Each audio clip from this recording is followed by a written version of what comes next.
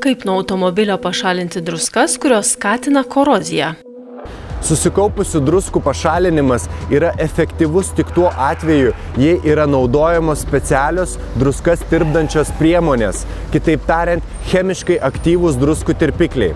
Šiandieną norime Jums pristatyti Crown produktą Salt Eliminator, kuris pašalinant druskas nuo bet kokio paviršiaus ir yra kiekvieną kartą naudojamas plaunant automobilį prieš antikorozinį padengimą. Ant kelių barstoma druska yra efektyvus būdas sniegui ir ledui tirpdinti, tačiau ji neabejotinai kenkia automobiliams, ypač metalinėms konstrukcijos dalims. Druska daro didelį įtaką korozijos atsiradimui ir plitimui, todėl norint to išvengti, ją reikia pašalinti.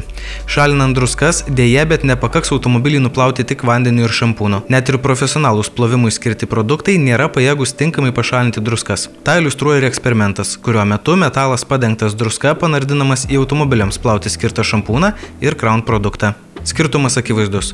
Plovimo priemonė nesugeba pilnai pašalinti druskų. Tuo metu druskų šalinimo priemonė ne tik tirpdo, bet ir atstumia nešvarumus nuo metalo. Automobiliai turi daugybę įvairių ertmių, į kurias druska patenka kartu su drėgme, sniegu ir kitais nešvarumais.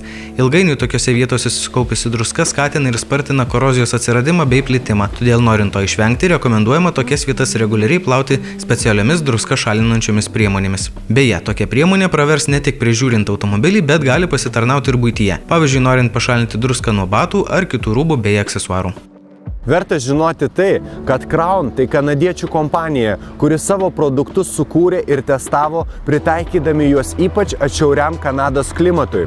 Šalis, kuri išbarsto sezono metu rekordiškus kiekius druskų, sukūrė inovatyvius produktus, kurie leidžia jums pasirūpinti savo turimomis transporto priemonėmis bet kuriuo sezono metu.